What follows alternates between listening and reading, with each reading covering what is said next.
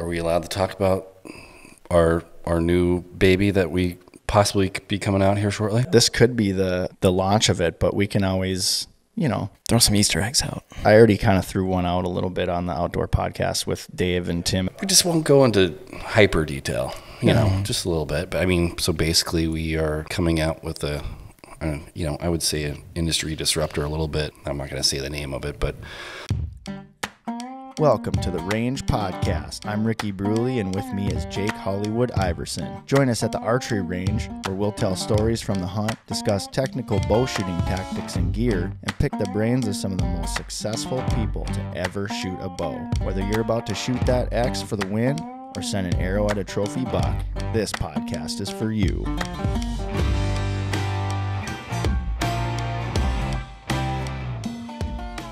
Range Podcast is brought to you by Vapor Trail Archery, makers of the best bowstrings money can buy, originators of limb driven arrow rest technology, and innovators of Stokerized stabilizer systems. All right, everybody, welcome to The Range. I'm Ricky Bruley here with Jake Hollywood Iverson. What is up, y'all? Hey. Thank you all for joining us for episode two, the present and future of Vapor Trail Archery and Stokerized Stabilizers. Joining us today in the range is Rory O'Loughlin, President and CEO. What's going on, man? How are you? doing great. Happy to be here. Thanks for having me. Awesome. Yeah, man. How was uh, how was the weekend? Would you do anything fun? Uh, yeah, uh, four year old daughter had her uh, our birthday, so uh, got to go to Dave and Buster's and blast some zombies with a machine gun. it was her first time. I thought she was gonna be running out of the game crying. She was like into it. So That's awesome. She was like another another round, Dad, another round. She's all for shooting. Oh yeah, That's awesome. yeah. No nightmares. I mean, Yeah, that I'm might be pretty sure if she does, she'll have a machine gun in her hands. so it's perfect then. Right? Sweet, dude. Awesome. Yeah, I spent the weekend um, helping. Well, I was here for the Fondy shoot, of course, for like the first half. Hollywood Mm-hmm. was here for the whole whole day. the whole half. Um, yeah, I got got the joys of the whole thing. Um, I was kind of bummed that I couldn't be here the whole day, but then. Uh, I spent all of Sunday helping my buddy put rip carpeting up in his basement and put new flooring in. So I'm Mm, does that bring back some memories? Super sore. I was about to say that's a good workout. Oh man, my knees, dude. My even my toe toes. Weird. a year ago, A lot of deadlifting. we were doing that here. Right? Yeah, So- that's right. We were drywalling, and we'll get into that some more. So I'm kind of excited about that. But all right, cool. Well, we just wanted to do a quick recap from episode one, uh, touch on a few details that we missed out on. Uh, you know, there were some things we talked about that maybe some of our listeners wanted some more details on. So I'm just going to jump right into it. Feel free to jump in, you guys, anytime if you have a comment or anything you want to say. And again, I'm going to kind of be reading this verbatim just so I don't miss anything. I apologize if I start to sound too robotic. But uh, so in the beginning, Jared, he started, uh, Jared Fondy started Vapor Trail in his basement in 1993. As a target shooter, he began to build his own bowstring so he had more control over his equipment. Steve made a really interesting comment too about how um, back then, you know, strings stretched so much and they actually wanted them to stretch. And then they later come to find out that, okay, that's not such a good thing, especially for target shooters. And then I was listening to that episode with Cameron Haynes and Wayne Endicott, and they were talking about how it was it was so bad that you get to the point where you got your bow tuned, and then you wouldn't want to shoot it again for you know until like you absolutely Until needed kill to shot, Oh basically. my gosh. because it would it was that bad. I was like I was just shocked by that, so that was kind of cool. Uh, by 2000, things uh, really start to take off with a big contract from Bowtech. Jared's brother Steve gets on board, and VT is officially incorporated. Going back to the previous episode, we talked about a gentleman by the name of uh, Paul Gotze, and that's kind of we missed a part of that where uh, Paul met Jared, and then so he had a connection with Bowtech. So Paul Gotze had that connection. That's where that um, uh, that's where that all took place and how that all happened. VTX bowstring material is born and was the first of its kind with its proprietary combination of Dyneema and Vectran fibers. So what they what he did was it was basically just different deniers playing around with different combinations of you know percentages of those two materials, and then uh, came up with a uh, with a it's a little thicker per strand. So we run a 16 strand string as opposed to your typical like 22, 24, whether you're using 452 or whatever you're using. So those are a little more details I wanted to get on that. What, what's the benefits of that? through testing and all of that, he found that it held up better in varying weather conditions. So one example that he told me about is when he would uh, go to tournaments down south, and you're you know in the winter, right? So you're you're up here shooting in the cold, uh, and then you go down there and you're you know you're in the heat, and then everything would move, and everybody'd be on the range reciting in, making adjustments, you know all that kind of stuff.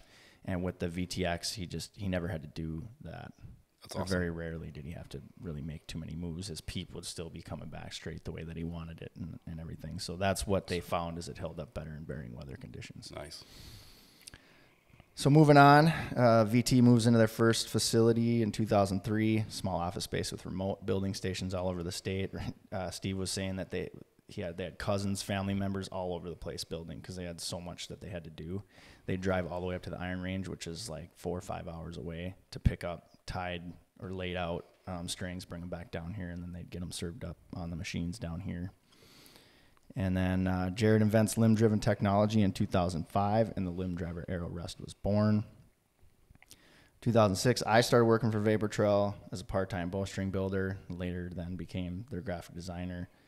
Moved on to uh, become the bowstring manager, then production manager, and now creative director and special operations say, manager. forget special ops. Can't forget that part. Spec That's- ops. It's a very important role. I come walking in with night vision goggles on. Almost. I mean, that's it's that uh, level of expertise needed. That's for sure for some of the stuff you you got working on. You know. Yeah, I appreciate that. Uh, where are we at here? So, 2007 operation moves to a 3,000 square foot facility down the road. I had been say, saying 2,500, but I guess it's 3,000. There, uh, so, just wanted to throw that tidbit in there. 2011, Jared Earsmeyer comes on as general manager, plays a critical role in the development of the brand with his good looks and superb beard. he does, it's just crazy. It's like so perfect, all the time. Yeah, but he's got to keep it it. all prim and proper now with his new job. So. 2014, the legend Jared Fondy passes, and we continue to push forward despite a huge loss to the archery industry. In 2016, John Becker, former Olympic ski jumping medalist, joins the team as sales and marketing director, adding further growth to the business with his genuine and kind hearted nature. He is now our uh, director of operations. January 2020, Rory and his brother Patrick acquire Vapor Trail. So that brings us kind of up to speed to the basically the end of the conversation we had with Steve. So we just kind of want to go back a bit, um, talk about when this process first started of you acquiring Vapor Trail, and um, and just kind of see, you know, get your thoughts on that, how it felt, what it was like, the whole process. Yeah. Um, well, as you guys know, I'm from uh, the North uh, Texas area, so um, that's where I met my wife. She uh, uh, was a nurse at Parkland Hospital, which is the same one uh, JFK was brought to after he was assassinated. Um, And we, uh, anyway, we're volunteering at a dog rescue, and uh, that's how we met. So we're um, obviously things worked out. We uh, had a kid. It was the first year of having our daughter, and um, she wanted to move back to family. And so, as you guys know, it's a small world. My my wife is from Ham Lake, Minnesota, Yep. which happens to be uh, where um, uh, Vapor Trail was stationed for over a decade, and was uh, where where it was when we purchased it.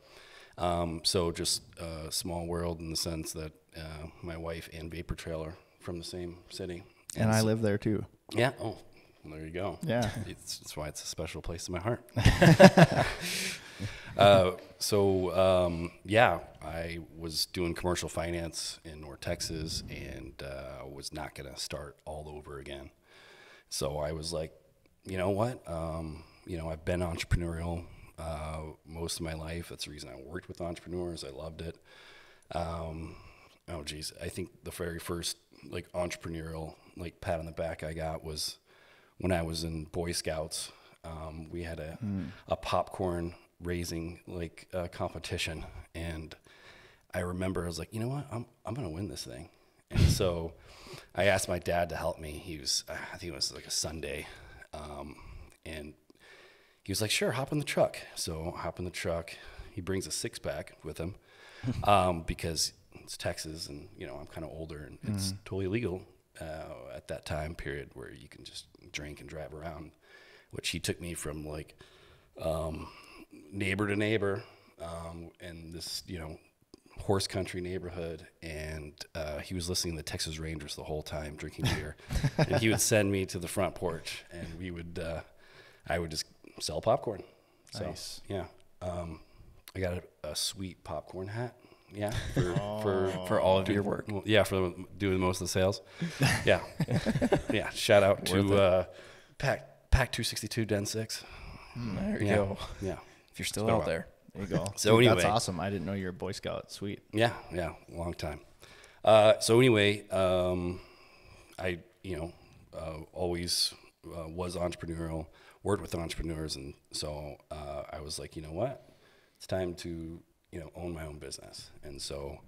When we moved to Ham Lake, obviously I, I met Steve, and uh, we were talking back and forth about you know, Vapor Trail and how he was um, a little bit burned out. I think. I think. Uh, you know, not to go into too many details, but I think uh, the passing of Jared had a lot to do with it. And, Yeah. You know, um, definitely a rough time for him and his family, and so um, I think he was ready to let Vapor Trail go into the hands of um, someone else that was passionate and dedicated to keeping the brand alive and making sure that um, that flame continues. Right. So Yeah. hopefully, I I bring uh, somewhat of that to Vapor Trail. Yeah, I mean, honestly, I I um, have to thank you for keeping us on, right? Because all the offers they had on the table where they were just like, they just wanted to come in, move the operation, get rid of everybody, just fresh, clean slate, all that kind of stuff. you Yeah, know? vulture style. Yeah, they're, they're you- coming in to dismantle. Yeah. Yeah, you came in trusting us blindly. You know what I mean? And I and, and I'm sure there's some of that had to do with, you know, just you know Steve maybe just, you know talking to you about how important we were to the business, but at the same time, still like, so I thank you for that for still being here. Yeah, Now absolutely. we are talking. Yeah. You know, in a podcast. So wouldn't have seen that coming, but uh, super grateful and, and feel blessed to be here still. So Yeah, me as well. No, it's a great family uh, that we've all built here, and uh, uh, the culture is amazing. So, Mm-hmm. but I'm glad to be a part of it. Right. So when you were like the details about how it all kind of came about, like where, um, how did you find out that Steve was selling it, or how did you get connected with wh- what I call the Steves, Steve The Fondy Steves. and and uh, Steve Weiss. Steve right? Weiss? Yeah, well, just like they have like um, real estate agents or brokers uh, for real estate, they have them for uh, businesses. And Mm-hmm. Yeah. so I was in touch with uh, one that was national. okay, Uh, he was on the buy side, which you know I would be technically a buyer, and so he uh, had a handful of companies in the MSP area, and uh, he's going. We're going down the list, and he goes, "This is archery one. I don't know if you'd be interested." I'm like, my eyes lit up. I'm like, what? Right. I'd have done the same. Yeah, you know, me being a, a bow hunter since I was a kid, I was uh, all of a sudden super jazzed about the opportunity. And honestly, it was so weird during the process because the whole time, like, this course is too good to be true. It's not going to work out. You Right. know, something's going to happen. You know, these things fall apart all the time. It's Right. like, I was, I was like that all the way up to the closing table. Mm. And then I was like, wow, it really happened. This is mm-hmm. really cool. Yeah. Yeah. Yeah, it was a it was kind of a wild day. It was a Friday, and we're all just getting ready to, you know, I think it was like two o'clock or something, and we usually would leave at three, so we're just like getting getting ready, getting cleaned Two, up. two days after new, the new year, too. Yeah, it January January 3rd. 3rd. Yeah. Yeah. So we're it was a Friday, right? Yeah, January 3rd, 2020. Yeah. So it's just like all of a sudden Steve's like, "Hey, you you let's go. We're leaving now." Uh, what? Okay. Um, so me and Ears and Johnny pile into his truck and drive down to the was it a Holiday Inn Express? I think the new one Really fancy. right there behind where Gander Mountain used to be. Mm-hmm. And you know, and meanwhile, this whole time, you know, we're all just kind of like, Sounds like a backdoor deal getting- going on back. Yeah, it's like it's like, oh man, we're, we're going into this. I was the bar across the street for the record, and then That we just bricks. closed like that morning, and you know, they, I guess Steve, the Steves were running late, you know, getting you guys there, um, and so I I was just remember I was like, man, uh, you know, these guys, I have no clue what they're gonna think of me as their new boss, and so I'm like, you know, just sitting there you know, drinking a few Jamesons just to relax to. Yeah. you know, get to know you guys. Yeah. I mean, I have to admit too, when so when we finally get into like this little conference room, right? And I'm just like, man, I don't know. I could go either way. I don't know. I might be losing my job right now, or I have no idea, no clue, right? It's just, and then so then they they break it to us what's going on. So I'm expecting a suit, right? Like Oh yeah, you know, like a like a guy in his 50s, private equity nerd. yeah, like you know, silver fox, you know, groomed really well, and uh, and and then you walk in, badass leather jacket. You know, I'm like, I'm like, okay, Jeans wearing a baseball cap. So I'm like, hmm, all right, you know, and like this is okay. You know, we'll see how this goes and everything. And yeah, the conversation went well, and and uh, you know, I don't know, I, it, it was honestly a huge relief Okay. because I just didn't know. Good. I was like, what's going to happen here? You Yeah. I, Because you said once you left the finance world, that was it with the suit and tie, wasn't it? Oh yeah, I threw them all out. I, I think I have, I think a total of two, one for weddings and one for funerals. It's just like, Yeah. there Yeah. we go.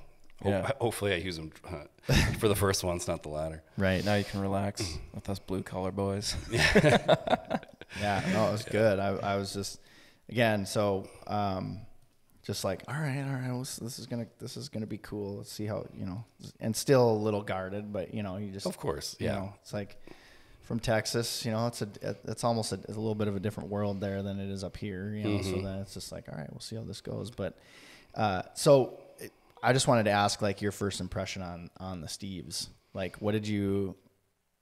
I mean, Steve and I, as in Fondy, uh, we you know we were pen pals back and forth. You know, if I had questions, I'd give him a call or you know shoot him emails, stuff like that. And I actually just met him uh, for the first time uh, when I was coming up to do some bow hunting in Wisconsin um, in November with uh, my father-in-law.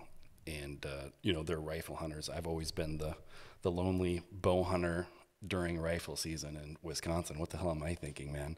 But anyway, it's you know it's a private land and it's a you know uh, over a couple hundred acres, so it's an invite, right? It's a new place to hunt. So um, I was doing that for like six years uh, before uh, I met Steve. I was at, I'd always come up. That was the cool thing about um, my wife, you know, having uh, a really cool father-in-law. That was the way we bonded, you know. Yeah. Um, so anyway, um, yeah, we sat down at a bar and um, had a few Guinnesses and and we, you know, finally got to uh, really know each other. Just you know, not just um, business, but on a personal level too. So it was pretty cool and.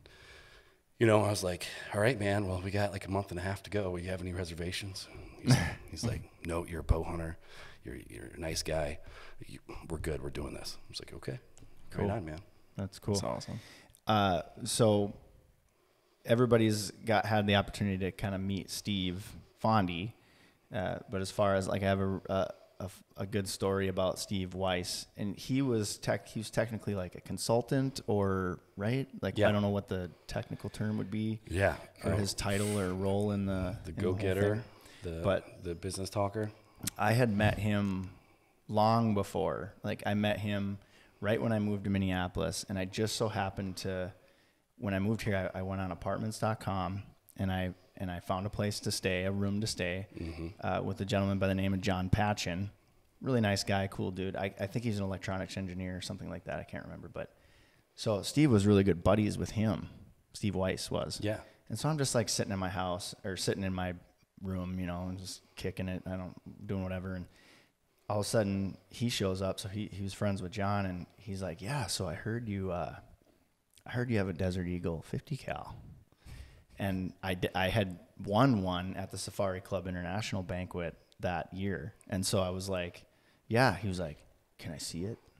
I was like, yeah, sure, why not? You know, so I had a little handgun safe and I pulled it out and just make make sure the chamber was clear and everything, and I handed it off to him. And it was really, he was just like, whoa, this is sweet, you know, just like watching him, just like you know, pop the mag and jam it in, and he was just like, this thing is so cool. And so that was like the first time I ever met him. And then he just like hung out in my doorway and we just sat there and talked about guns for like an hour. Mhm, yeah. and then years later, right? Like I'm, so I start. I, I knew that there was like kind of a relationship there because I had a Vapor Trail sticker on my bow case, and Mm-hmm. when John Patchen, my the guy who owned the house, was helping me move my stuff in, he goes, "Oh, do you do you know those guys?" He goes, "Do you know Fondles?" And I'm like, Fondles, who's that? And I hadn't met Steve and Jared yet. Mm-hmm. I knew about Vapor Trail, but I hadn't met them yet. So Yeah. then he was like, "Well, they own, you know, Jared, Steve Fondy, they own," and I think that was the, the nickname he had for them or something like that. I've never heard anybody else call him that, but so that that's kind of the story. And then just crazy to think that however many years later, 14 years later, whatever it is, that he was going to be a part of that transaction is wild. Yeah, I think consultant's the right uh, term for him because he was, you know, behind the HR documents too of Vapor Trail and what he helped on the 401k plan, and so he's always had his his, his hand in a few of the the inner workings of Vapor Trail behind the scenes. And every time, like I had a like a very detailed business uh, question or regarded the finances or anything like that, um, to Fondy, Fondy'd be like, "Yeah, you talk to the others." okay, yep, well, I'll give him a shout. Yeah, yeah, he helped me start my 401k too. So, Nice. uh, all right, well, so moving on, uh, things start to move really, really fast, right? Yeah. So I'm gonna lay out the situation here for everybody. So, uh, you buy the company. We're we're already kind of in the process of starting to develop a new arrow rest. We've got one that we just finished up. Mm-hmm. COVID hits. Yeah, Gen 7X just came out. Yeah. And we were working on another one, which I can't say the name yet Yep. because it's three years, three and a half years in the making now. Yeah, yeah. And then sales go through the roof, right? Because of COVID. COVID hits, and sales just go crazy. And then my daughter's going to be born, so I take three months off. You know, well, that was in August, so that was a little bit later. And um, then one year in, the opportunity to acquire Stokerized comes along. So it's just like all these things are happening like really, really, really fast. And I mean, not to mention the in the craziness of COVID too. Yeah. it's just like you know, all of a sudden we're like really slow, you know, because it just crept in from China, you know, in December, Mm-hmm. and you know, I I think the official shutdowns were in March, March. and then so we had a solid month. I think it was you know 30 days stay at home or two weeks, whatever it was. yeah, And I just remember like it was being crickets during that time period. Mm-hmm. And then we all returned back to work, and then all of a sudden, just the phones explode. Just fire. And then boom, we're on the the defensive. You know, Yeah. all we're trying to do is keep up and keep our customers happy, our dealers happy. And Mm-hmm. it was uh, it was a awesome challenge. It was super fun. Um, definitely don't want to do it again because uh, definitely don't want to get you know three weeks behind on on strings. You know, Yeah. which you know we've come a, a long way. You know, now we're uh, back to our three day guarantee, and uh, we have the production capacity and uh, all the equipment put in place and people uh, to make that happen. Yeah, and so for the folks that uh, don't know, we used well, we we had a three day guarantee in the past. and It was really a big part of our success, and and for as many years as I've been here, we'd never. I don't think we'd ever gone beyond two days. May, maybe we'd get like two and a half, but we'd always do whatever we had to do to make sure that the that everything got done. Yeah. And um, it, but it was within reason, Yeah. you know. And when that year hit, it was just there. We Well, who? Was, no one was up to speed. Well, You know, no one could ship in three days. Right. I, I was just was gonna, six months for some Yeah. of our competitors or um, other, you know, archery manufacturers. Yeah, I was just gonna circle back and say internally, you know, taking a step back, after Rory acquired the company, that's when roles had changed, and so Rick was no longer bowstring manager, and I'm just gonna fight for myself here, but uh, that was my first year of managing the bowstring department. I got vetted for the job, and uh, I remember that same thing. We were we actually went in when he when Rory acquired this from Steve. There was no inventory, so during all of this, we're yeah. doing an inventory change to a whole new system where we have all of our beans counted, and then all of a sudden everything shuts down. Yeah, no, and, and let me just jump in there because, like, y- you think about all the different color combinations of bowstrings, whether it's 452X or VTX. Um, you know, and then go to the arrow rest department. You got 14 different, you know, uh, color rubber cages, you know, and then, yeah, all the parts that go into that. Some are universal, some aren't. So it's just, you know, I remember the first week I was in Vapor Trail and I, I sent an email to, to Ears and I was like, so what inventory management system do you have in place here? He goes, it's all in my head. I'm just like, whoa, doesn't doesn't pass the bus test. You know, I've you know I always bring up the bus test. Bus test means if you get ran over, guess what? Uh, we're screwed. Yeah, who's gonna So who's gonna it's got to be you? it's got to be an open box. Everyone's got to know inventory, not just one person in their head. Yeah, Right. And then I just remember when those crickets came, I, I had a feeling I was just like, I think we're gonna get screwed. Like we're gonna get slammed real hard. Yeah. Like real quick, because then they started talking about the government free money. I'm like, oh boy. And then it just lit on fire. And like what Rick was saying, we never went past like two and a half, maybe th- three days tops is what we mm-hmm. were ever at. Mm-hmm. And God, would we get to all of but July? And we hit like 10 days. Mm-hmm. I oh, mean, Oh, yeah, it and was this a terrible look for and myself. all while we're doing this, we're implementing a new inventory management system. Yeah. in Yeah. our entire business. That went live June 1, I think. Yeah, mean, we don't have to say the name of it, but it's the same um, uh, inventory management system that NASA uses for their asset tracking. So, I mean, I'm not saying we're rocket scientists here, but we still use the same software as rocket scientists. Okay, uh, so it it makes it um, it makes everything make sense as far as like inventory in and out, parts in, product out, all the different um, color options, everything. So, I mean, you showed up the worst possible time, but the best possible time. Amazing sales, but also terribly far behind. You know, we were just busting at the seams with string, like orders. Everyone needs a string apparently in 2020. And then Rick goes and has his kid and just to pile it on. Cause I was using Rick as, you know, my mentor, you know, and now he's gone for a couple weeks anyway. And then, oh my gosh, it was just, first year was just insane. It was blazing.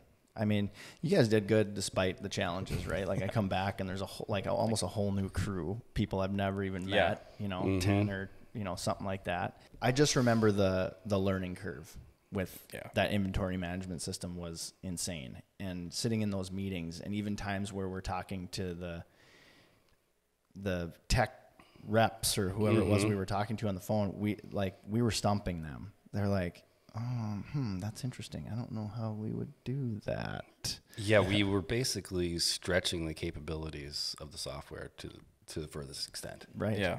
Yeah. With as many just options that we have and all that kind of stuff. But it ended up working out. And so we're much better off for it. No doubt about that. Because Oh, yeah, you definitely can't rely on someone's, just someone's, especially now. Like it's so much more complicated Oh than my it was then. Yeah. Stokerized stabilizers, uh, you know, acquired them in 2021. Yeah. Um, it was February of 21 uh, is when we Yeah. flew out there. So I think it started, I mean, it actually, it started in 20. We reached out um, during the hunting season of 20 because we wanted to collaborate on an actual stabilizer with Stokerized. So we reached out to um, Stokerized and we got in touch with Kyle Stokes and Sean Lutz, and we wanted to collaborate with a, a stabilizer. And uh, they responded with, "Hey, what do you think about acquiring us?"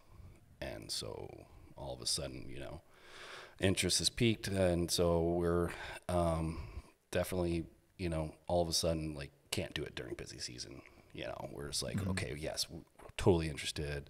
Um, you know, uh, let's continue this in February, where we're we can actually take a breather and um, let's do it. So um, the new year, 2021 comes around. Call up Kyle. Hey man, um, so we're serious about this. If you are, so um, we want to fly out to Pennsylvania.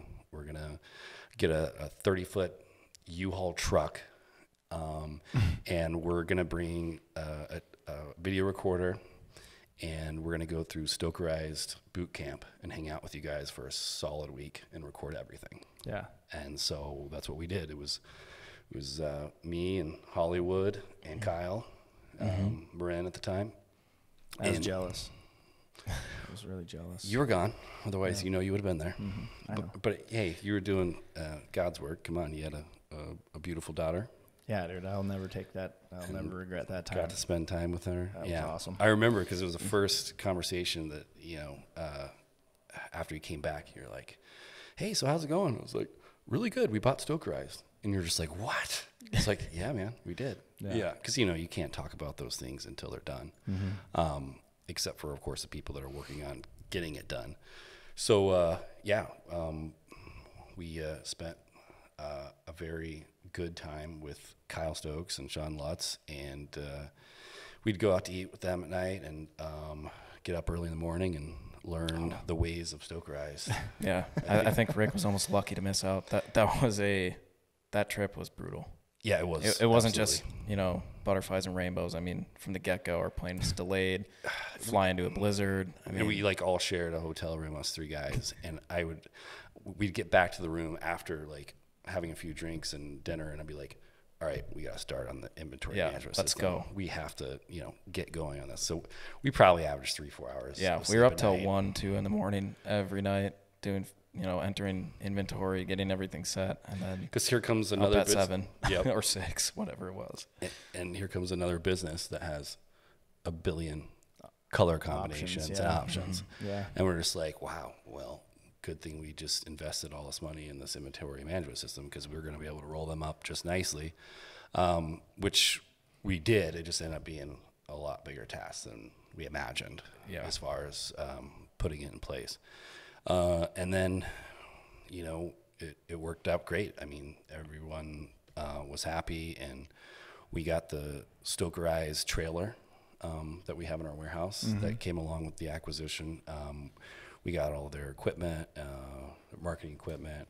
Um, of course, we had you know over hundred grand of inventory to bring back Yeah. in the the 30 foot uh, U-Haul truck, and then the, the trailer is behind the 30 foot U-Haul truck, and so and we're driving back. We're driving back during um, February, where it's a complete like whiteout blizzard. Another snowstorm. You're like cruising along the south shores of all the Great Lakes, right? Where like some of the harshest weather can be Yeah. in the winter. We were Yeah. actually in the Appalachian Mountains for a little bit. Yeah, and I think like the whole week we had probably accumulation of 15 hours of sleep, and then we're like driving back in a whiteout snowstorm, and we left at like 6 p.m.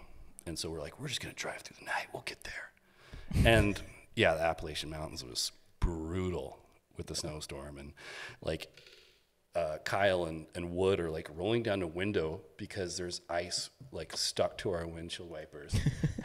and the ice would just move up and down and I couldn't see anything. It was like, guys, are we on the road? I don't know because we're just, it's a windy bend in the Appalachian Mountains.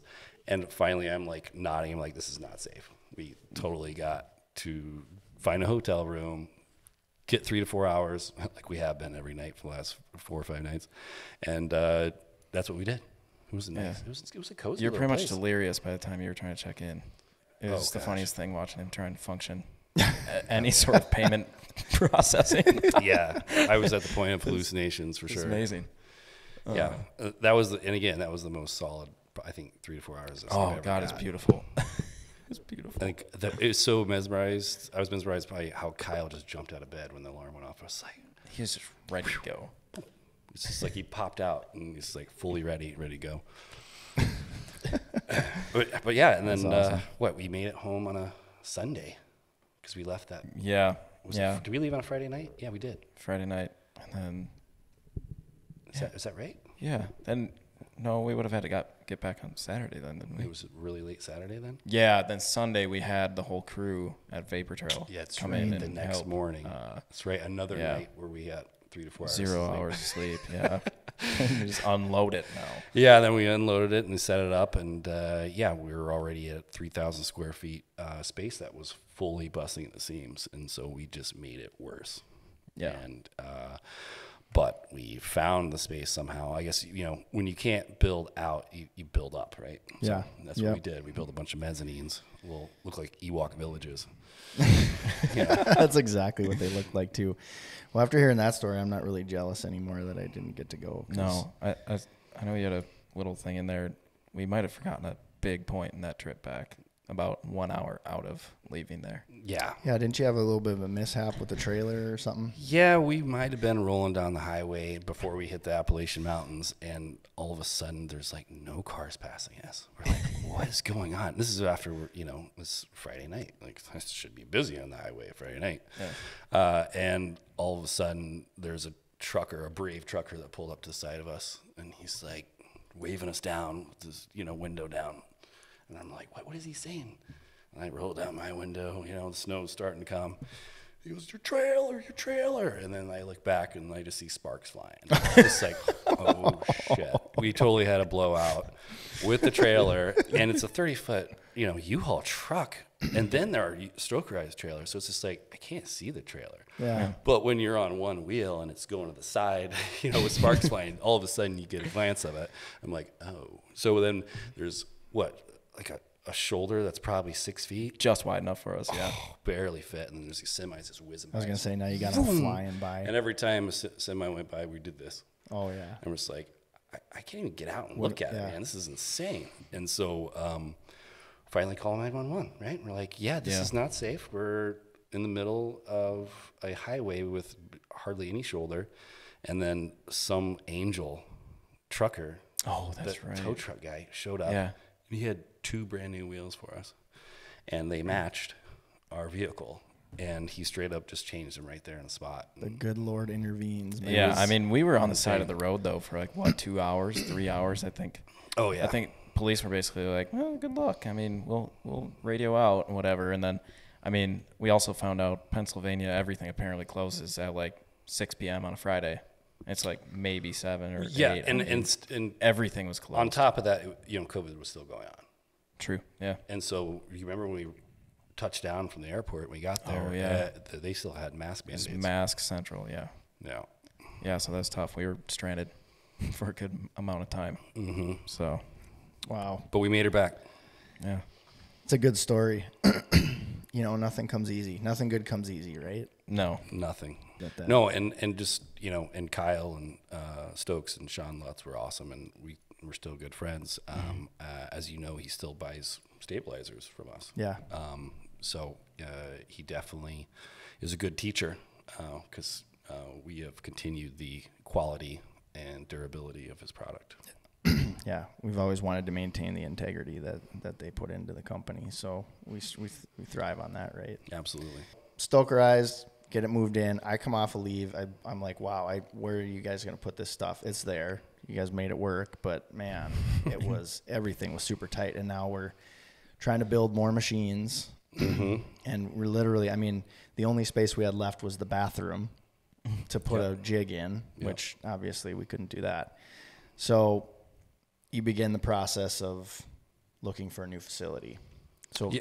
walk Yeah. us through that. Like, what were you? What was your thought? Were you initially right away thinking, "Hey, I, I think we should have a range and all of that," or was it, or did it just kind of come out of necessity or, It or was the opportunity? a necessity because you know you're limited for production by your space. yeah, So I knew that if we were going to keep growing, that we needed the space to grow into. right. Um, and so that was the number one factor. And after we got Stokerized settled in, and you know, uh, got you know wheels turning and things uh, were 100% smooth, I was like, um, John, I'm gonna be gone a while because I gotta find us a new home. and so yeah, I just you know kept driving around uh, the area, looking at. I started out looking at equestrian centers because it has all this acreage, you know, Right. and they Oh, have this huge barn that's like, uh, you know, HVAC, and uh, I couldn't get the zoning because even though it had tactiles were okay, I was like tactile strings, like we can, t- we, or textiles, excuse me, Yeah. we could totally do this. Like you know, maybe we'll make it work, but none of the cities that I was talking to would let it fly because I was like, oh, we could do an outdoor 3D shoot, you know, Yeah. and of course, and and so it just seemed really cool to me at the time. And then I wised up and I was like, dude, we're stuck six months out of the year here in Minnesota. I was like, we need to build an indoor haven for people that don't want to freeze their buns off and still shoot archery. Right. And so that's why I was like, you know, we're gonna do a large warehouse, and we're gonna we're gonna build a wall, a great wall, and it's gonna separate the manufacturing from the uh, indoor range, and so that's what we did. And we got you know a little bit of a retail front up up front here. Uh, definitely boutique feel. Um, we have we sell amazing strings here. Arrow Rest The- the- stabilizers. Don't know if you guys heard of them. The boutique. Yeah, and then obviously all the other products that we 100% believe in and can vouch for because we've used them in the field.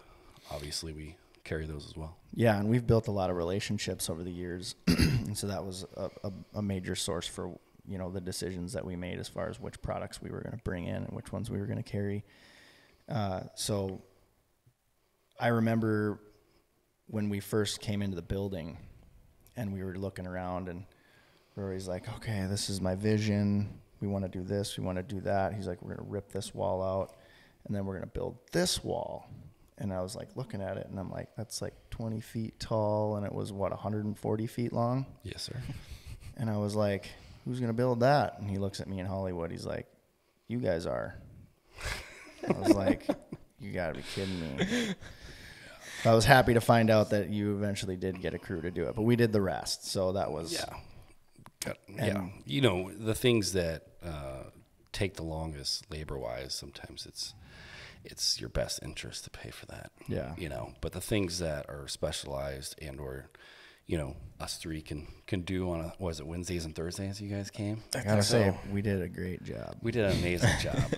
I mean, we had our, uh, I had my general contractor onesies, um, Yep, and you yep. Guys had your onesies, and uh, yeah, we we swung a lot of sledgehammers. Get Rage Against the Machine going. Oh Yeah. yeah, that was we. Me and Hollywood did are we. like strategically trying to take walls down and like so that it's for easy cleanup, and we're like maintaining pretty good. And then Rory just like come in with a sledgehammer, and he was just like, "All right, I need to blow off some steam, guys," and just went to town, man. There was Whole wall would come down one swing. I mean, we took out like, what eight offices? Yeah. four on Yeah. this side, four on that. yeah, you guys did. I think you and Lauren did all these ones. This was all cleaned up, I think, by the time Yeah, I I it was just got carpet. involved. But then we did the other side of the building, and uh, yeah, that was fun. That was cool. Ripping that Yeah, out. and and just to give everyone that is not aware, but our building was an old machine shop for 25 years. Yeah. and so it was a little dirty, and so it was our job Filthy. to clean it up, and we did. Um, put a lot of elbow grease in this thing, and it shows. I mean, this place is immaculate now. Big props to Megan because she was doing. She did a ton. yeah. She did. Um, yeah, She was I'm here. very a very lot. blessed to Yeah. Have her as our commercial painter. Yeah. Yeah, I was gonna say She- she, painted like Every everything. inch in this building, I think, all 25,000 square feet of it. Yeah. Thankfully, because I don't like painting, and I hate, especially hate drywall now. yeah. Oh man. You just disliked it a little bit, now you hate it. By the end of it, I was like an expert. I'm like, man, maybe I should. Maybe I don't need to work at Vapor Trail anymore. I'll just become a drywall guy. But Yeah, that'd um, be I'm just. Yeah, there were certain spots that I, I, I left on, on purpose because you were so good at it. I was like, oh, he'll get that. I'll move on to the next thing.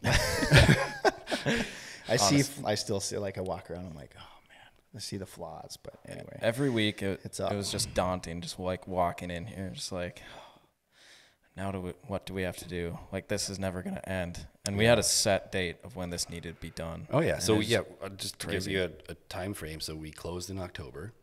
It Yeah. was it was mid October. yeah, The seller did not actually get out of the property until it was the day after Christmas. I remember that was Mm-hmm. the first day I finally got to walk in here with no one. I was like, Mm. wow, this place is huge. It's awesome. And yes, and I had that Mm-hmm. scary feeling of, you got a lot of shit to do, boy. And I was like, okay, um, I'm ready. And so, um, yeah.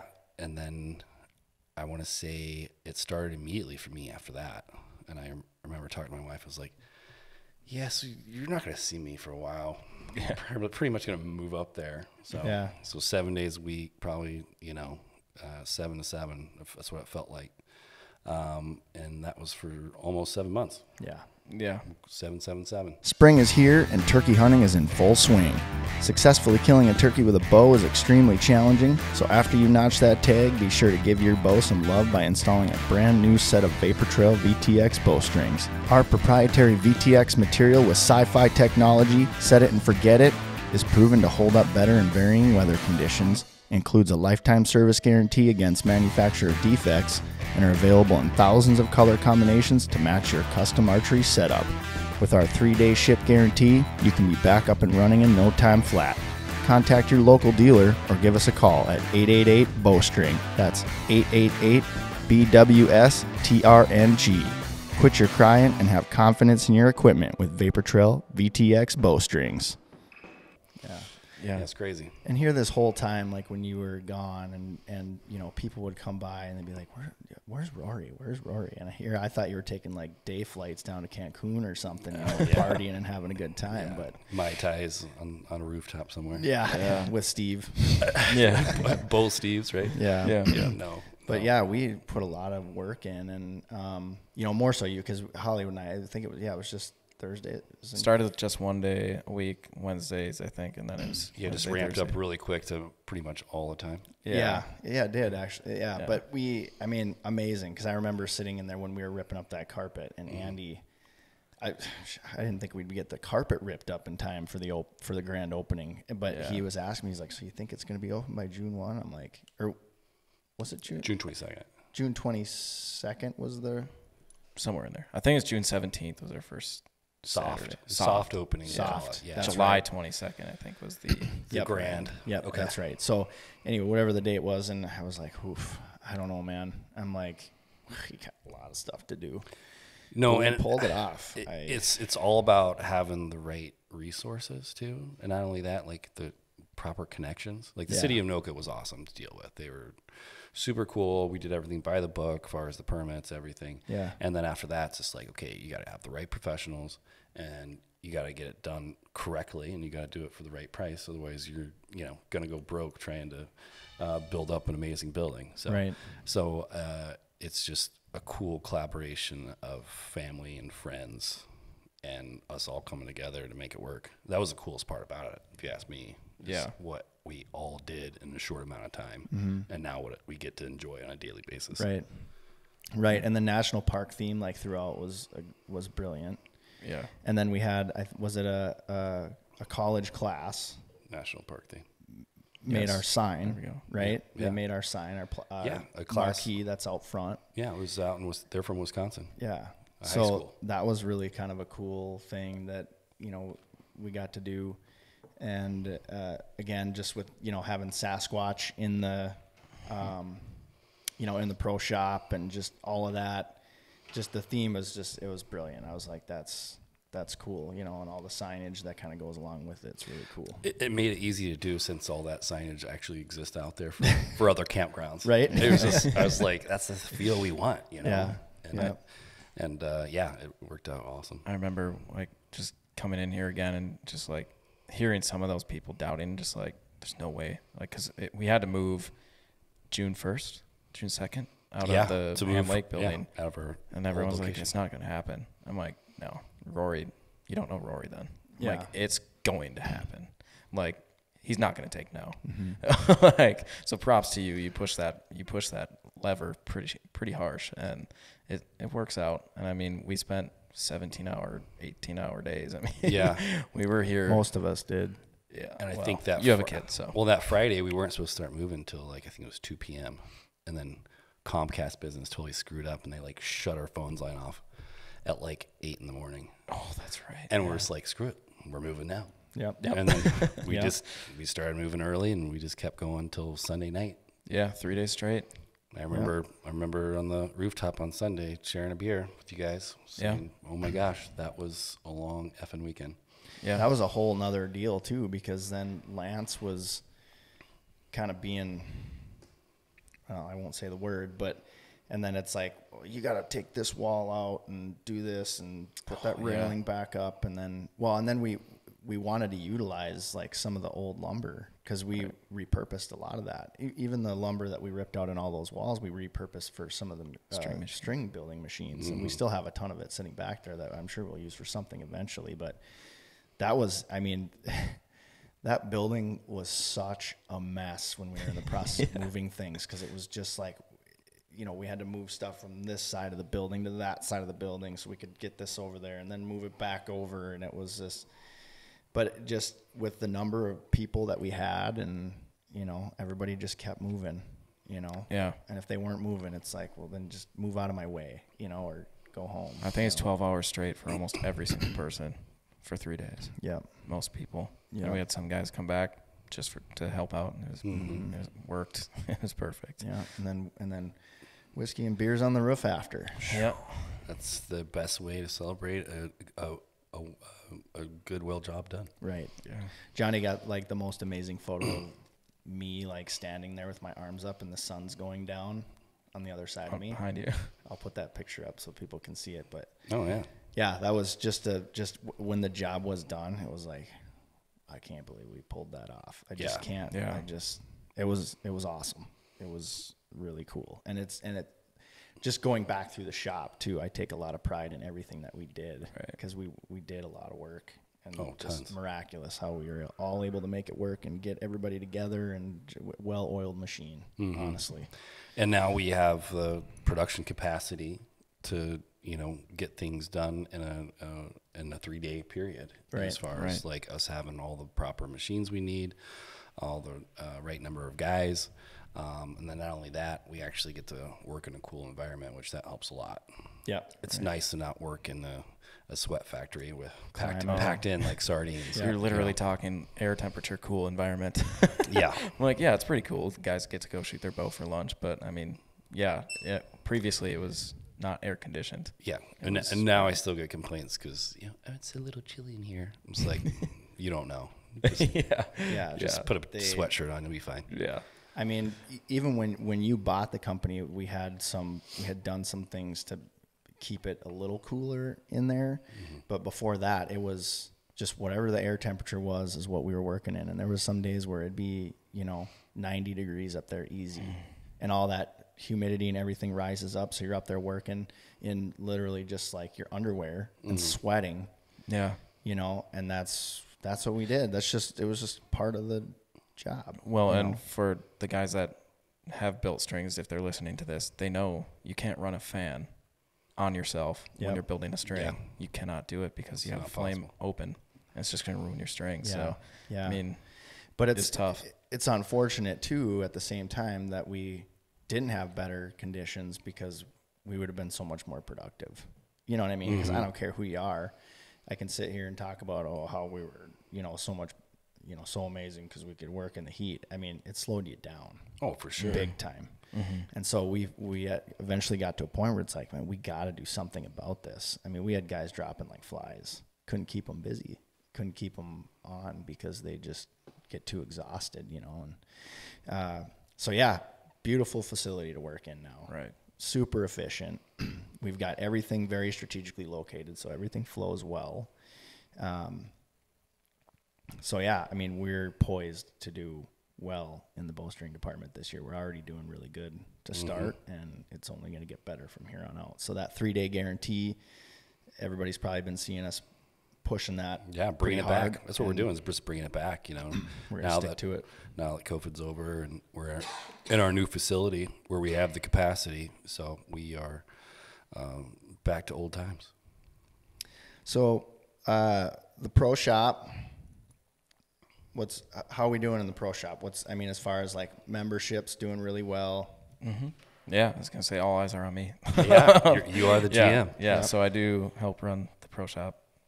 More like I do run the pro shop. Yep. Uh, yeah. So I mean, we have twenty four seven access now with this big building, and yeah, we've got quite a few uh, members that sign up for that, and I mean, we haven't hit the triple digits yet, but Tell them the cool I'm thing waiting. about that. what's that? Our twenty four seven access. Yeah.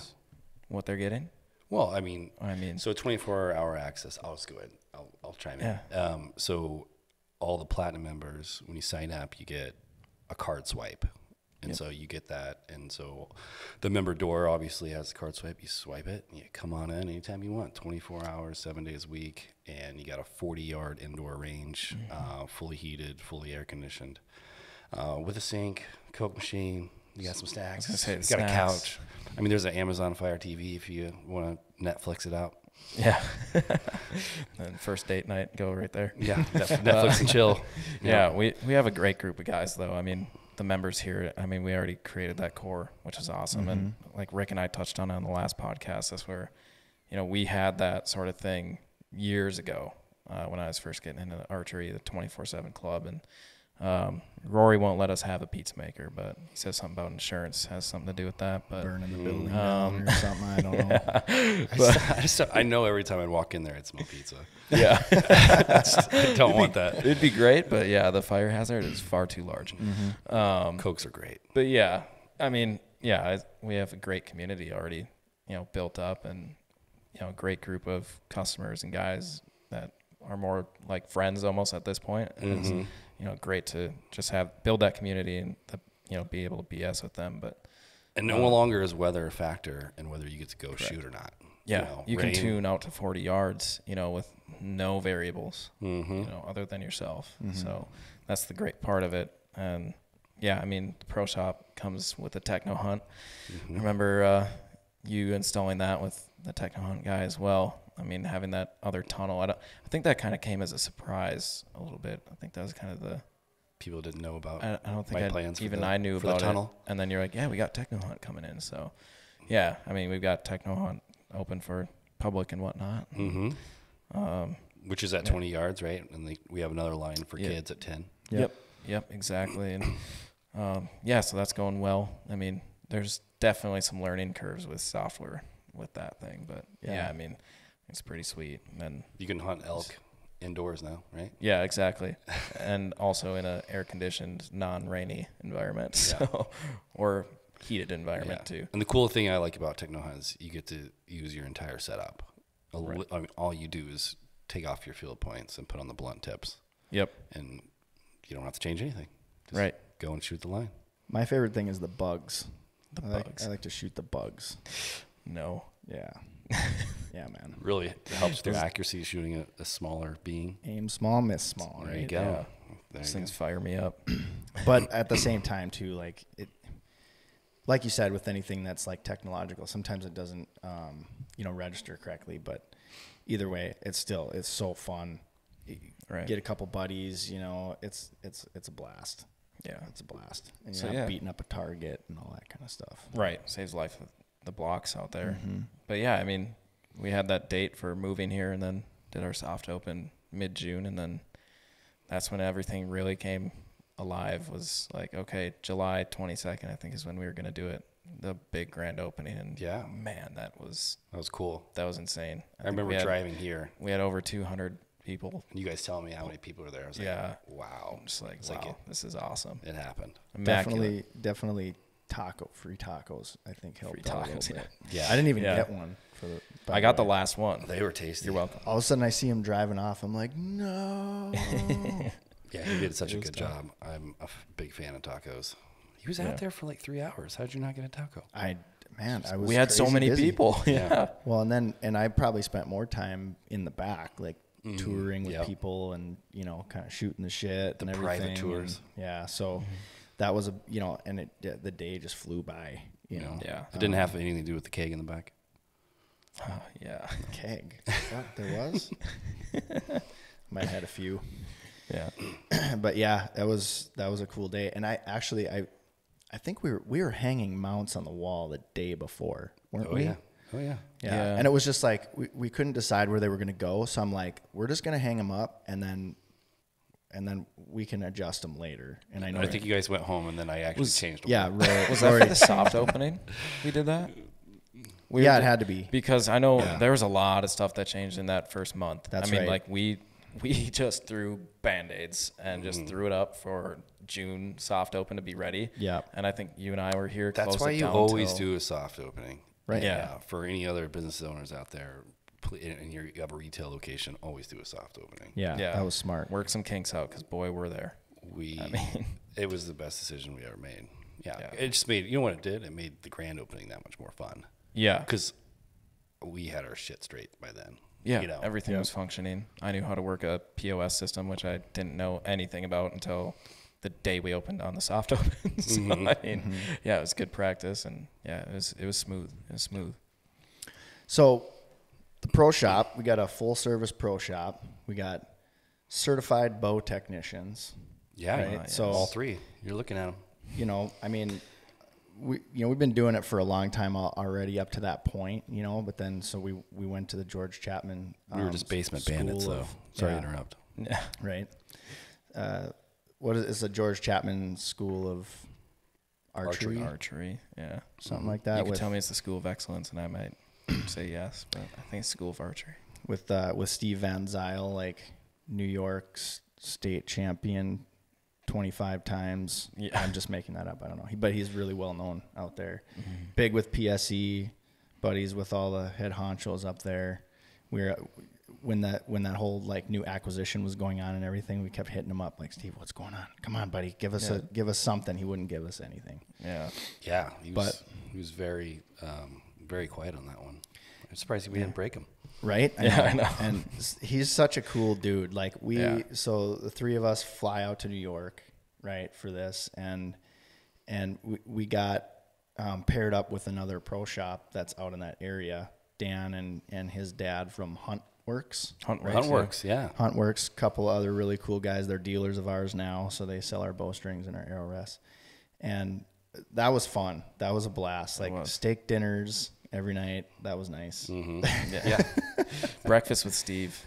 Oh, Every yeah. morning. Oh yeah, Don't forget that. Oh, What was yeah. it, like 7.30 in the morning, 7 in the morning? his bottomless cup of coffee. yeah. Man, he, he I think he drank like ten a day. Yeah, and it, it was and it was caffeine free. Uh, yeah. I was Oh no say, I wonder think it was why actually decaf. he could do ten a day. Yeah. Decaf, yeah. Otherwise, a little heart would be Yeah, I was pumping like a wondering, too. hummingbird.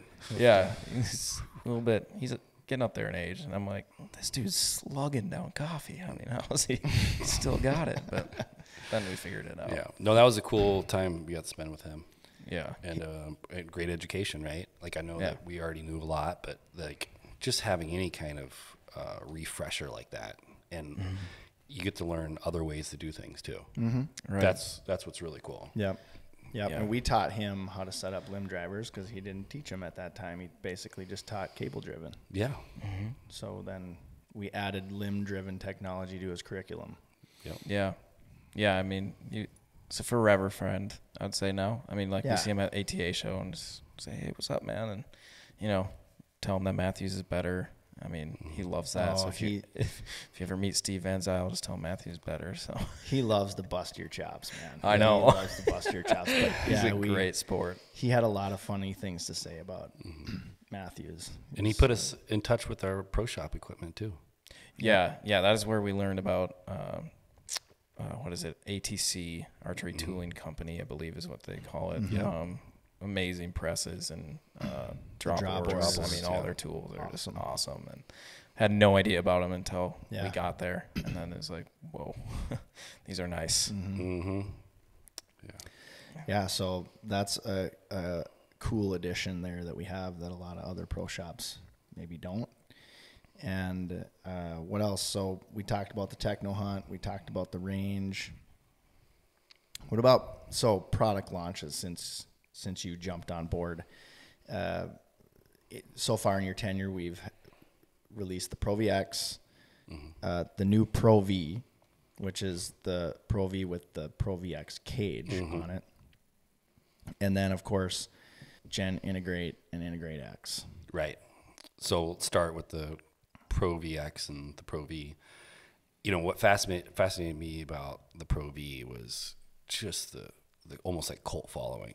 It's like such a classic in the archery industry, and um, bulletproof design, and you know the.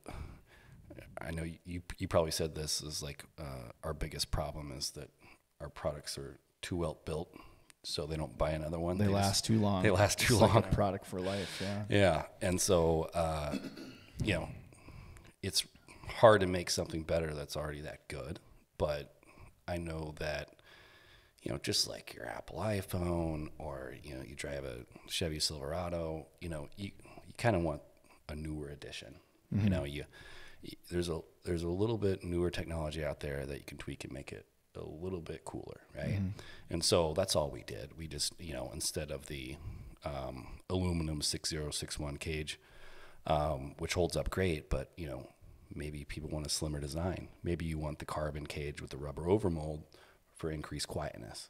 Um, and then what about uh, micro adjustment, windage, and elevation. Yep. You know, so I just for all those people out there that love the Pro V model, I just wanted to give them something a little bit cooler Yeah. and a little bit more streamlined, slim. Um, and so that's what we did. And it was pretty cool at the time because what that was mid 2021. I think it was June 2021 we launched that.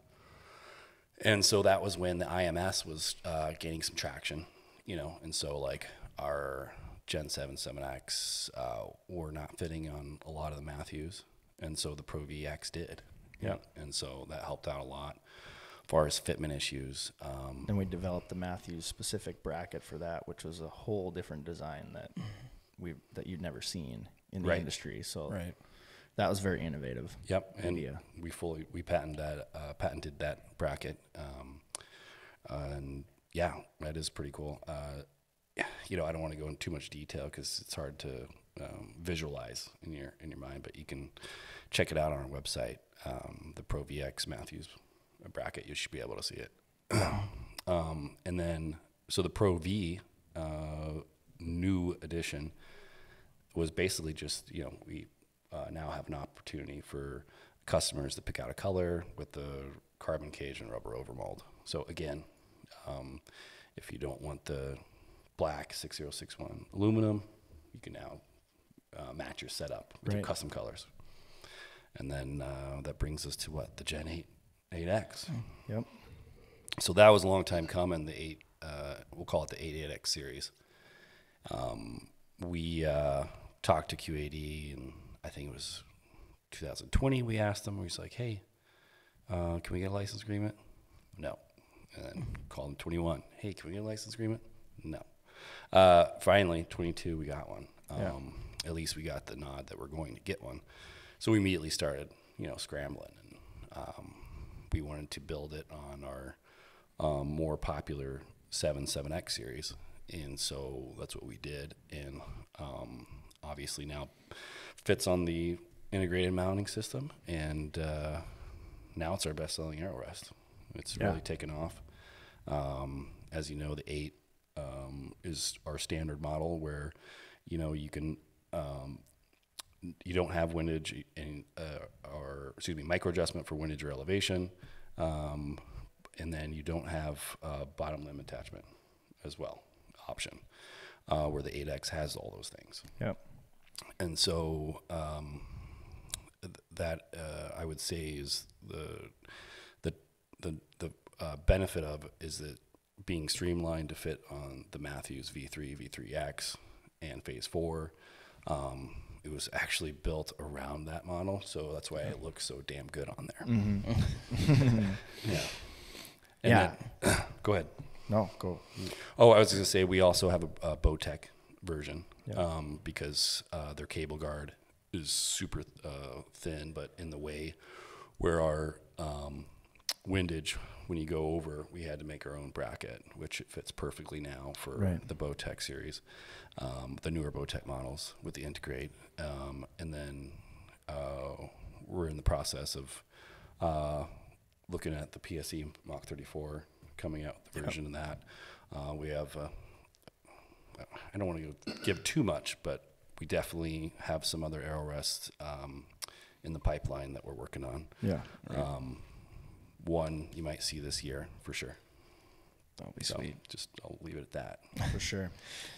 So let's talk about the um, some of the some of the design innovations that you've brought to the table too. Uh, so with the uh, with the Pro VX, you had the inspiration for going with like a Tron theme, and uh, when he had at first presented it to me, I was kind of like, well, you know, uh, you know, like retro kind of '80s thing, and I was like, well, you know, start putting it together, and then once it was done, it was like, wow, this looks really cool. Like this is really going to stand out on the shelf, uh, you know, and just you know get people's attention to looking at it and then going, oh, this is you know, and then moving forward now to the Gen Integrate.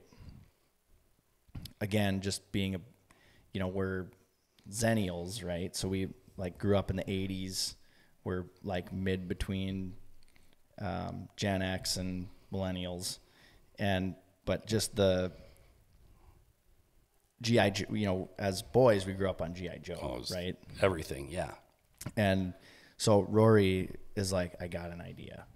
What do you think? And I was just like, GI Joe. That's I mean, because GI 8 hmm Gen and integrate. then Gen integrate. It just the way that it all came together. I'm just like, it's like, man, this is this is perfect. This is yeah. brilliant. Well, I mean, yeah, that's why I, I came to you and I go, Rick, when I open up this arrow rest, I want it to feel like a GI Joe. Yeah, Because it's like that nostalgia of opening, ripping open a new GI Joe that you just convinced your mom to buy you when you're at the grocery store, and Right. you kind of, just, you know, you might have just thrown it in the basket. Um, yeah, that I just remember, like when I was a kid, that was probably my most exciting part of growing up in the days. Is just you know having uh, my GI Joe characters, yeah. and then of course blowing them up later on when you get older. Right. Yeah, of course. Yeah. And then, so I remember some of the inspiration that you sent me, you know, some of the old packaging and stuff. And I was looking at all the old characters and all the names and started thinking about, you know, that was like the next question. It was like, okay, so who's going to be like our GI Joe on the, on the cover of the packaging? And it was like, should, should Rory be on there? Should I be on there? We talked about putting Spencer on there.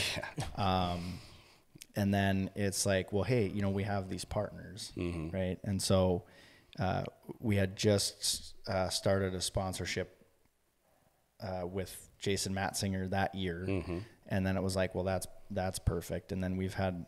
And, and he's been, for the record, he's been shooting our stuff for a really long time. Yeah. Um, but we finally just made it official. Uh, and because it's just like, that's kind of what we want. Yeah, You know, I don't, He's our real live uh, Vapor Trail action hero. yeah. So yeah. It's we- only right that we make him a figure, right? Exactly, and and I and that's what we always have kind of strived for is we want people to shoot our stuff because they like it, not because we're writing them a check. And uh, and then we had already had a long standing relationship with Steve Ecklund at the Edge TV, and so it was just it was really cool having the conversations with those guys because I started out the conversation by saying, "How would you like to be a real American hero?"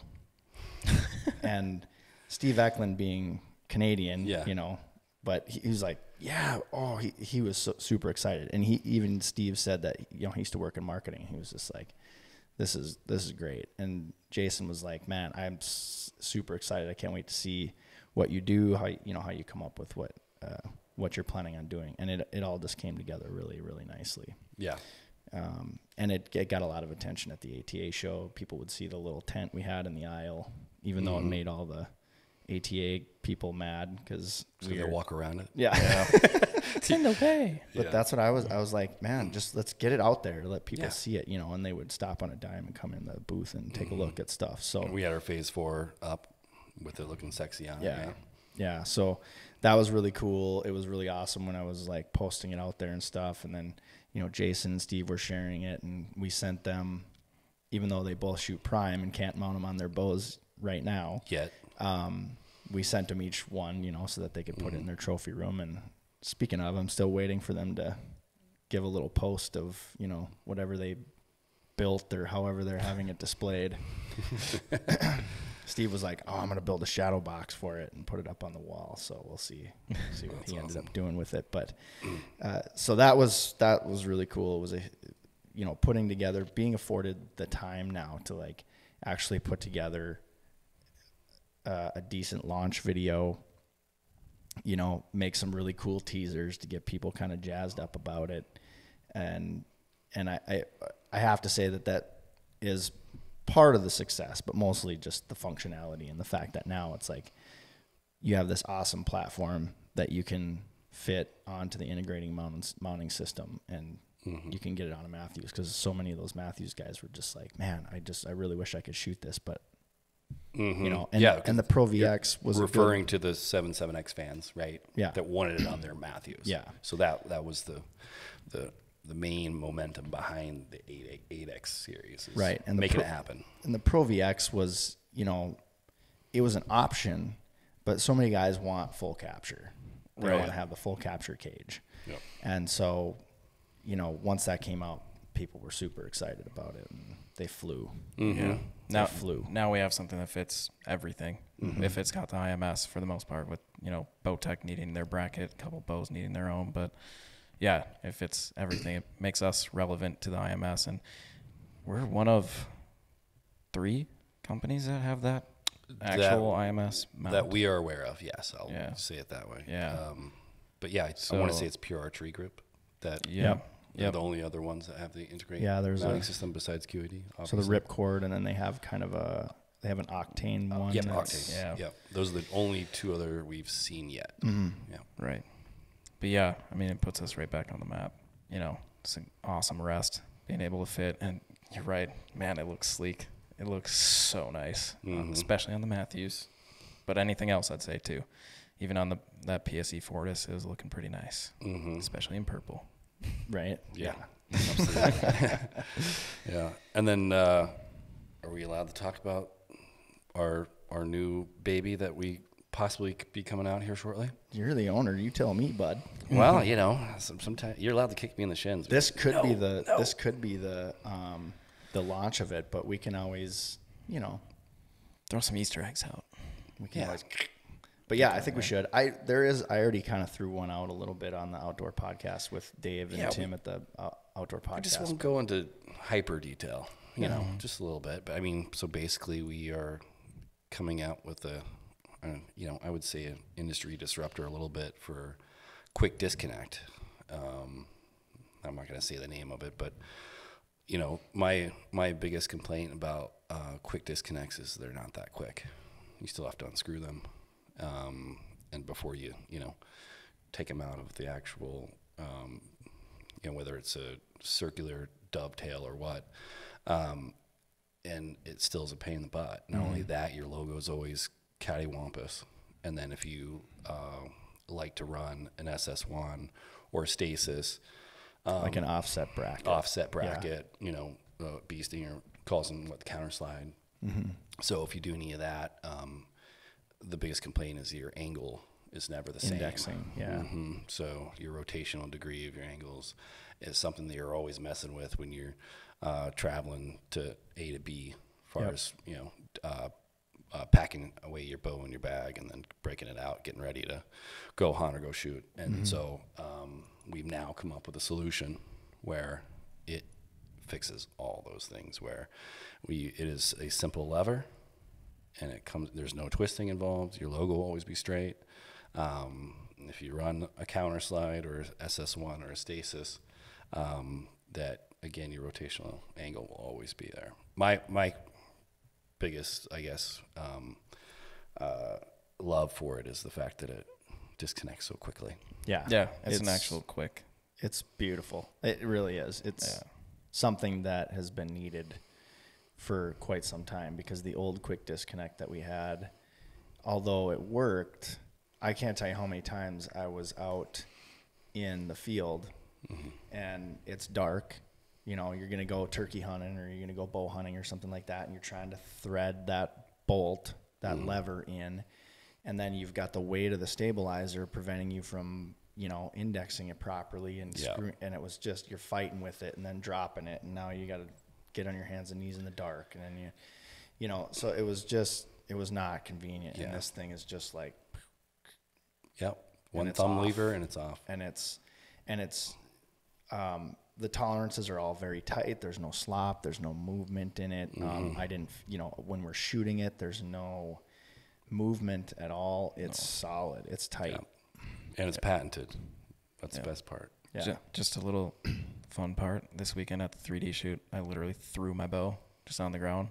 And Caitlin and Luke were just laughing at me, like, what the heck? Like, who is this guy?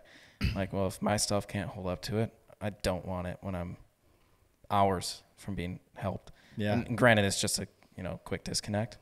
Didn't budge. I mean, nothing did Yeah. at all. But I'm just like, so many guys are so light on their equipment, but it's like, what if you do fall? I mean, I did in North Dakota. I fell, slammed my bow into the rocks, and Yeah. I mean, luckily it was fine. But I'm like, okay, I want everything to be solid, and Yeah. that thing doesn't move. Or It's when you got so your nice. bow attached to your pack and you're just, you know, crawling through Yeah. trees and stuff. trudging through it, it's better Yeah. hold up. If it doesn't hold up, I don't want it. Yeah. Yeah. Get out of here. It's nice. I'm excited. Yeah.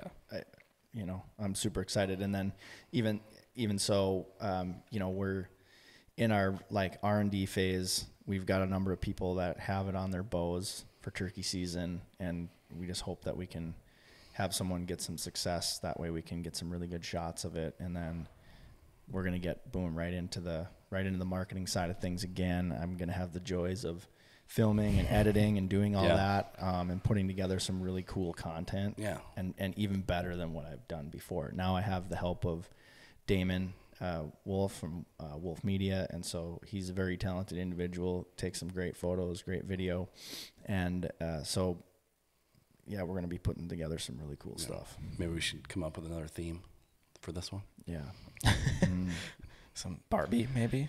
Wait, I'm talking. No, the- no, no. You. I'm, I'm th- man, the gears are turning right now in my head. I'm trying to think like what else is there. Well, we already said it once, but we Um, don't want to give too much away. Has to do with mustaches. Yeah. It, well, I was also thinking like maybe some MacGyver-ish kind of thing Oh too. You know what I mean? gosh, Like, you know, going back to the '80s or whatever. But Mm-hmm. um, so yeah, so we got that going. That's that's part of the future. Yeah, and that'll be coming. Um, we'll go ahead and say this fall, Yeah. Maybe sooner. maybe sooner. I don't know, but it's always good to be stay on the safe side and just try not to make any empty promises. But Yeah. That's kind of how things go with this with machining and anodizing and you know it's a And- process. The R making phase sure is- your product is rock solid, Yep, right? The R and D phase is, is the most critical. So, what else? What else do we got going on for um, for Vapor Trail Stokerized coming up in the future that we can that we can talk about? I mean, we've got a lot of irons in the fire. You know, I mean, we'd be in trouble if we didn't have ideas constantly a brewing.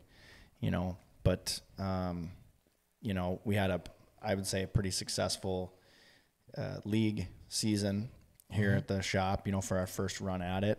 And, you know, we hope to grow it. We had a couple of really fun shoots and we've got some good feedback from a lot of people and some really good ideas for what we want to do next year. We're going to step it up and, and do some, some fun stuff, maybe have some shoot downs under the lights instead yeah. of, you know, do some cool stuff like that, get some, put some pressure on some guys, you know, yeah. Mm-hmm. get the heart pumping a little bit while they're trying to win some money. Um, I'm very excited about this podcast. Actually, Yeah. um, you know, we got some really cool stuff coming up. Uh, we got some some guys that are uh, turkey hunting professionals, whitetail, elk, and then you know maybe some that might have had a mishap with you know a bear attack. Right. So we got some a good one. exciting content coming up, and uh, you know, I I feel like there's nothing cooler than when you really like a brand that that brand opens up a door where you can kind of you know go down the rabbit hole with them. Right. Um, you get to see you know a little behind the scenes what's going on, uh, the people that are involved, uh, methods, process, and um, just the ideologies of the company. And so uh, I feel like this really gives us the opportunity to share that now with our customers and Right. dealers, and um, hopefully they can be a part of it too. Mm-hmm. Yeah, absolutely. And I remember, you know, we had kind of discussed this, you know, a few years back about having a podcast. And I was like, oh yeah, that'd be a good idea. And then it just, so many things were coming at us so quick that it just, we, it was kind of an afterthought. And then, and it, and it wasn't even really on the radar until, you know, at ATA. And then I had somebody approach me about doing a podcast with them. And then again, just some marketing challenges that we knew we were going to run into this upcoming year. And so it was like, this is the perfect time to pivot and do that. And then, and still knowing there's so many people out there that have never heard of us. We, we're going mm-hmm. into our 30th year of business and there's still so many people that don't know about us. You know, it's like, so what do we, how do we get on the map, you know, and, and um, do some things to, to really uh, kind of brand, you know, create some brand awareness. Right. And so that's really where a lot of this came up. And, you know, just doing as many podcasts as I could to knock off the cobwebs and having conversations about what equipment we need and all that kind of stuff. And then I approached Hollywood. I was like, what do you think about doing a podcast? And he was just like, I'm in. You know, it was like not even It's a, whatever. I'm like, cool, all right, well, let's, you know, and so uh, it just the whole process has been a lot of fun, and having these conversations is really cool. Like, and I'm, I can't wait to get into the weeds with some of these other guys that we are going to have coming up on the podcast. A, a lot of experts in in the field when it comes to all everything that you said. You know, elk, deer, turkey. I mean, just bow hunting, archery, target archery in general, all that kind of stuff. And just looking forward to bringing back that at the range feel. Like we're just here to shoot our bows and hang out and have a good time and you know blow off some steam and whatever else. You know, and uh, unfortunately we can't you know cook a pizza, but we can order one. You can order. yeah. There go. in that day, in that day and age now, right, where we can do that. So, yeah, I thank you for saying that because that is that that's going to be a huge part of what we're doing this upcoming year, and uh, just look forward to seeing all the people that choose to follow along and ask questions and all that kind of stuff. So, Right. And I think that, you know, for people that listen and follow us, they'll, they'll be more uh, educated and uh, they'll be able to uh, kind of track where we're at as far as new products coming out. Right. Um, is as far as where we're headed as a company as well. Um, and, you know, we talk about not just Vapor Trail, we talk about all new things in the industry. So uh, it's just a good way to stay up to speed.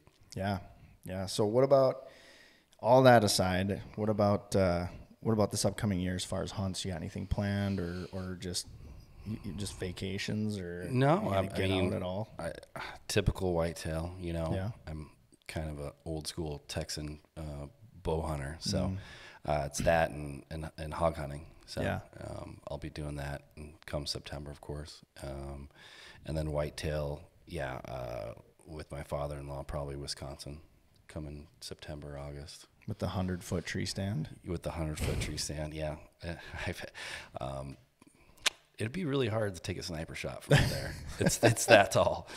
Yeah, you're better off just 20, 30 feet up um, in your normal tree stand. That one's a little too high. Tell us more about the hundred foot. Well, it's not really a tree stand, but it's it's like a It's a house A built a hundred feet up, dude. Yeah. It has an elevator. It has a shower, a bathtub, a kitchen.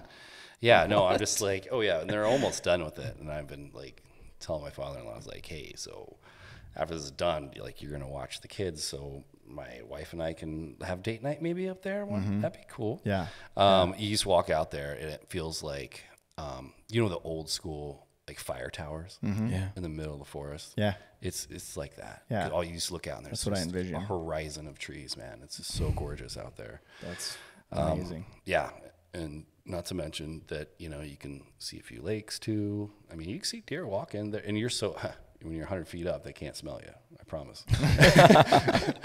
so yeah, it's great for nature nature watching too. So it's good. It makes me want to say like, what in the Airbnb is going on up there? Ah, there you go. That's actually a That smart Sounds idea. like what he's pieing off Like for. a good amount of money. Yeah, I'm waiting to get invited though to go out west. So that's that's you know Well, if it makes- whenever I get the invite. Makes you feel any better? I got all my points, and I got my first year of not drawing for a bighorn sheep in Colorado. So Yeah. I mean, I got a few years for that. So Got it. yeah, We're gonna find out about North Dakota here in a couple of days, so that'll be that'll be mm-hmm. cool to see how that goes. Because if me and you and Damon and Griffin draw, man, we're gonna Just go make that deer. we're gonna go make a movie. That'd be sweet. Not that kind of movie, yeah. Oh, a deer hunting movie, or maybe just a running around in the hills and watching sunsets movie. Who knows? We'll see how it goes. But I I have a feeling at Someone's least gotta. one deer is gonna die. yeah. Oh, for sure. but that's contingent upon all of us drawing. But who knows? We'll see what happens with that. If I don't draw that tag, hopefully I draw a bear tag here in Minnesota, and I'll go and suffer up in the boundary waters again for a week. I'll just do my OTC tag, do some public land maybe There you go. for that. But North Dakota, you're talking? no, for bear, Oh, because I've got another six years I gotta wait. So That's right. I do like your your bear tag story. That was really good. When we were at ATA, and you told the guys we were out to eat with. That was hilarious. Oh, the, um, I think it's OSG.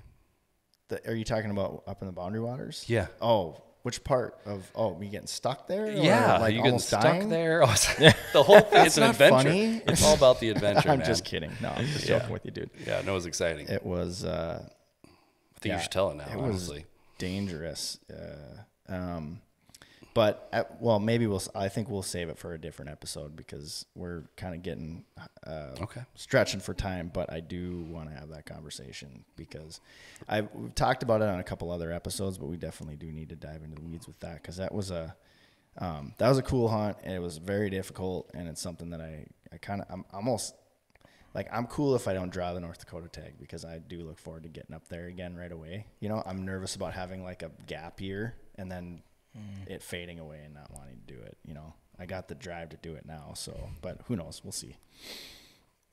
I'll be happy either way. What else do you have as far as like? So you did, I'm running for birds right now, but I mean, are you talking for applications that Yeah, are out? I yep. mean, I did Colorado, and then um, I'm just gonna do points in Montana, and then maybe in Wyoming, but she's a fair bit expensive, and they don't like non-res. So yeah, um, then North Dakota, one of the guys here, going back to us having a community, kind of gave me a small invite down to Nebraska, and then another one this last weekend to South Dakota cool. as long as he's got the yes from the right people for South Dakota. So I might apply for South Dakota as well. What? It's not might. I will, but um, there's two different tags you can get for that. Otherwise, so South Dakota. Otherwise, Nebraska. Those two are up in the air. But I'm also looking for a house, so need to save some money somewhere. You, So- you don't want to stay in, in your uh, SUV? yeah, exactly. Be nice to move out. so yeah, I mean, I got a lot. I mean, the whole bear hunting thing, eh, whatever. Especially in the boundary waters. Boundary waters can shove it. So Yeah, that's. I mean, get a couple under your belt first before you go try to do that. yeah, I'll leave it to you, I mean- experienced old men. If your goal is to kill a bear, don't go to the boundary waters because it's probably not going to happen. You know, I'm seriously. It's, but I, I had planned on going up there anyways to do some just fish and just get away. You know, and then it's like, well, I may as well apply for a bear tag. I'm probably not going to get it, and then I got it. You know, but then I didn't have the access permit and and that. So you want to talk about things getting complicated. You know, as far as applying for stuff in other states, that's one that's um, you know, I something that would be good to educate people on, but at the same time, nobody wants to do it, so it's easy to get a tag. There's no, you don't have to have points. Like you're Yeah, almost just gonna say guaranteed that. to get it. Your first year, wasn't it? Yeah, One and done. yeah. Nice. That's why I didn't think I'd get it. I figured it'd take two at least, because you're looking at up in those quota areas. You're we're getting up into like five, six years now. right? Yeah. Yeah. So, um, just shocked that I got it. You know, it would have been cool to bring up bring a bear home, but This know. year. We'll see. That's something that we should do too. Now that you're a Minnesota resident, you know, get getting up and when things start getting a little more streamlined and established here with the new building and and all that kind of stuff. The problem is, is you got to you got to be out baiting like almost every weekend in August. Well, that, I already told Wood, I was like, look, man, you take me to one of these hunts out west or in the area. I was like, it's, it's a company trip, man. It's paid for. What are you waiting for? Yeah. Come on. Now the points are a different story. all right, It's elk called it is. research, Yeah, I know. research is, and Montana. development. Yeah, I mean, if you want to, I mean, it's twelve hundred bucks for your combo tag. Yeah. Oof, she's tough. Oh, I'll get out there one of these days. Yeah. Or we could do Idaho. You can do that kind of a little bit. It's like six hundred bucks, but now you can't get a tag. I guess it's like almost Tough to get a tag, and then you're driving for twenty hours, Oh, I can't remember how long it took for us to get out there, but it was. It was eighteen to twenty haul. hours, I think. hmm No thanks. And of course, we drive straight through. You know, you can't make a stop along the way. Just got to get there, get Yeah, back. Yeah, that's the way I roll too. I was gonna say that's Rory. You know, Yeah, I stopped once on the way to Texas. All gas, no brakes. just to pee, or not even. You're probably peeing in a Gatorade bottle or something. Yeah, hundred percent. Yeah, Yeah. dumping it out the window. I only do it when I roll solo, though. Yeah, that's I, say, I haven't seen that. common so- courtesy, right? And then yeah, I, I got to get more diesel in my truck. Uh, come, uh, gosh, yeah, Kansas, Kansas City. So usually where I stop. halfway. Yeah, halfway knows. point. Yeah. Well, like what? Isn't it like a third of the drive all Texas?